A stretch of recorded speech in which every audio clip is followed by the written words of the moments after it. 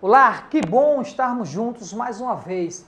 E hoje nós vamos dar continuidade à aula, a terceira aula, ao qual na segunda aula nós falávamos um pouco acerca das peculiaridades que existem no sermão expositivo. E hoje eu queria, de forma muito prática, trazer para você exatamente o que é que o sermão expositivo ele se propõe a nos ensinar a partir do texto bíblico. Então, para que você possa compreender, é importante que no sermão expositivo, expositivo, nesse sermão, nós partimos do texto bíblico, do texto bíblico, em seguida, nós vamos entender a importância de uma introdução, que esteja relacionada com o texto, com a ideia do que o texto realmente quer nos dizer. Em terceiro lugar, nós vamos extrair a ICT, que eu já falei na aula anterior, que é a ideia central do texto, onde nós vamos perguntar para o texto o que ele disse a quem disse, para quem disse lá no passado, onde o verbo vai estar exatamente no passado, né? O verbo dessa ideia central a gente vai compreender melhor isso quando eu formular aqui uma frase. O verbo tem que estar no passado. E ali eu falei que a gente vai criar uma frase no máximo com 16 palavras. Depois nós vamos ter a tese, em que a tese, o verbo, tem que estar no presente para extrairmos a ideia do que o texto falou no passado e o que ele vai falar hoje, no momento presente. E aqui nós vamos extrair da frase que vamos construir de 16 palavras, vamos fazer uma síntese para criarmos a nossa tese, uma frase que uma frase no máximo com 12 palavras. Em seguida, nós vamos da tese vamos tirar o título do nosso sermão, depois os tópicos e, por fim, a conclusão. Então, nosso, nosso sermão vai estar estruturado nesta sequência aqui. E para que a gente possa entender melhor, eu vou pegar um texto bíblico, vou ler exatamente com você, para que você possa compreender exatamente o que, é que nós estamos falando. E eu vou escolher aqui Lucas capítulo 15. Você pode pegar a sua Bíblia aí agora, onde você estiver, na sua casa, no seu escritório. Enfim, gostaria que você pudesse também nos acompanhar na compreensão do que diz o texto que fala aqui do capítulo 15, que é a passagem muito conhecida acerca do filho pródigo ou do filho perdido. E no capítulo 15, Vou colocar aqui no quadro para que você possa realmente aí nos acompanhar. Lucas capítulo 15, do versículo 22 ao versículo 31. Então, de forma prática, nós agora vamos desenvolver o nosso sermão a partir desse texto bíblico aqui, que diz o seguinte: é, Lucas capítulo 15, verso 22. Mas o pai disse a seus servos: Depressa, tragam a melhor roupa e vistam nele. Coloque um anel em seu dedo e calçado e calçando seus pés. Traga um novilho gordo e mate-no. Vamos fazer uma festa e alegrar-nos, pois este meu filho estava morto e voltou à vida, estava perdido e foi achado. E começaram a festejar o seu regresso. Enquanto isso, o filho mais velho estava no campo. Quando se aproximou da casa, ouviu a música e a dança. Então chamou um dos seus servos e perguntou-lhe o que estava acontecendo. Este lhe respondeu: Seu irmão mais, mais novo, ele voltou. E seu pai matou o novilho gordo, porque o recebeu de volta são e salvo. Ora, o filho mais velho encheu-se de ira e não quis entrar. Então seu pai saiu e insistiu com ele, mas ele respondeu ao seu pai: Olha, todos esses anos tenho trabalhado como escravo ao teu serviço e nunca desobedeci às tuas ordens, mas tu nunca me deste nenhum cabrito para que eu pudesse festejar juntamente com meus amigos. Mas quando volta a casa esse teu filho, que esbanjou os teus bens com as prostitutas, matas o novilho gordo para ele. Disse-lhe o pai: Meu filho, você está sempre comigo e tudo que eu tenho é seu. Mas nós tínhamos que celebrar a volta deste seu irmão e alegra-nos, porque ele estava morto e voltou à vida, estava perdido e foi achado.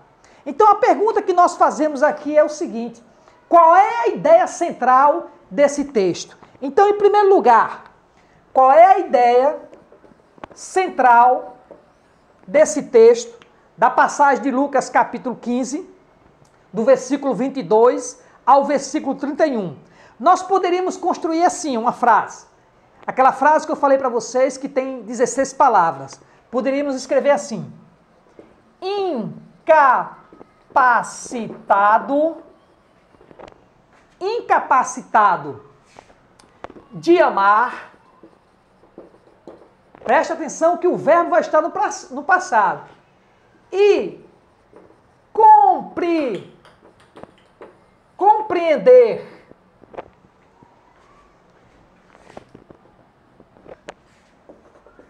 O irmão, preste mais atenção, o irmão do do pródigo, está entendendo que eu, eu estou extraindo a ideia central exatamente do que o texto está querendo dizer? ficou, olha o verbo agora no passado, ficou do lado de de fora. Mas de fora da onde? De fora da festa. Então, eu venho aqui e concluo de fora da festa. Veja bem, qual é a ideia central que eu tiro exatamente desse texto? O que é que ele quis dizer? O que disse lá no passado, quando o autor bíblico escreveu exatamente esta passagem dessa parábola do filho pródigo. Obviamente que ao lermos um texto como este, nós podemos aqui tirar várias ideias centrais do texto. Só que essa ideia central que eu estou tirando aqui não se aplica a outro texto. Pelo contrário, só aplica esse texto, porque é a ideia do que está dizendo esse texto. E eu posso criar, eu vou criar outra ideia central do texto para você entender que quando você desenvolve essa técnica, você vai aprender a extrair cada vez mais, através de suas posteriores leituras, extrair outras ideias além daquela que você já construiu. Então veja bem, incapacitado de amar e compreendeu o irmão do pródigo, ficou do lado de fora da festa. Então perceba que o irmão, ele fez questão de não participar exatamente daquilo que o pai estava realmente assim festejando, comemorando a volta do filho. E quando nós construímos esta ideia, é para dizermos o seguinte: que muitas vezes, olha que eu não cheguei na tese, mas se eu quisesse transportar essa ideia para o momento presente, eu poderia simplesmente dizer que, assim como o filho, o irmão do pródigo, ele ficou do lado de fora da festa, muitas vezes nós também ficamos de fora, do lado da vida daqueles que são festejados por Deus, ou de repente terem voltado exatamente para os braços do Senhor Jesus, ou quem sabe ter se reconciliado com a igreja. E muitas vezes nós não nos alegramos com a volta, com o retorno dessas pessoas, desses irmãos, desses filhos pródigos que estavam distantes. Então, às vezes nós temos esta mesma atitude do filho pródigo. Então veja que quando nós construímos uma ideia central do texto, isso nos dá margem para construirmos e desenvolvermos o nosso sermão, a nossa homilia, de uma maneira tão rica que as pessoas vão começar a compreender que existe uma lógica no nosso discurso quando nós construímos exatamente essa ideia central do texto, em que o verbo realmente se encontra no passado. Talvez você diga assim, professor Roberto, construa outra ideia central do texto a partir de Lucas capítulo 15, versículo, versículo 25 a 32, para que eu possa compreender melhor. Sim, eu posso aqui criar outra ideia central do texto. Veja que eu não vou fugir. A segunda ideia central do texto, não vou fugir dessa lógica do texto, mas para que você possa realmente compreender como é que funciona. Vamos lá. Ao declarar, presta atenção, ao declarar, ao declarar-se, isso aqui para você compreender, o, o único homem, certo? O único homem certo. Está acompanhando aqui comigo? Você está com seu caderno aí anotando? Vá anotando.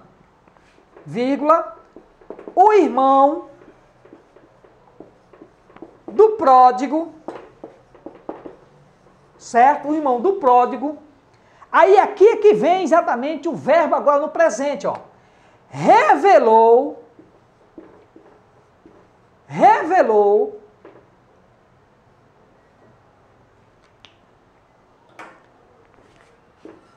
seus seus próprios erros.